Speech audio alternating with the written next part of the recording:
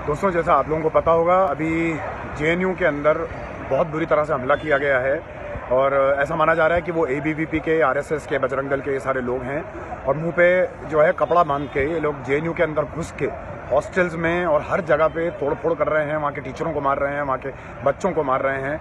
आप लोगों से अपील है कि जेएनयू के गेट के सामने, जो उनका नॉर्थ गेट है, जो मेन गेट है, उसके सामने ज़्यादा से ज़्यादा लोग पहुँचिए।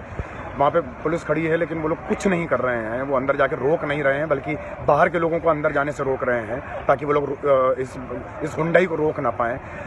आप लोगों को बस मैं इतना ही बोलूँगा, अगर आप लोगों को लग रहा है आप अपने घर में सेफ़ हैं, आप लोग अपने घर में सेफ़ नहीं हैं। ये लोग आप, हर आदमी के घर में घुसेंगे, उसको उसको तबाह करेंगे। इन लो, ये लोग सारी हदें क्रॉस कर रहे हैं। आप लोग प्लीज़ जागिए ज़्यादा से ज़्यादा लोग वहाँ पे पहुँचिए और इस चीज़ को रोकने की कोशिश करिए। वो लोग बच्चे हैं वही लोग इस देश का भविष्य हैं। आप लोग प्लीज़ पहुँचिए ज़्यादा से ज़्यादा लोग।